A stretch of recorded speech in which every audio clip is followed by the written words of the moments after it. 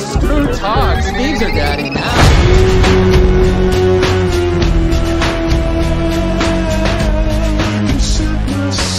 Get out.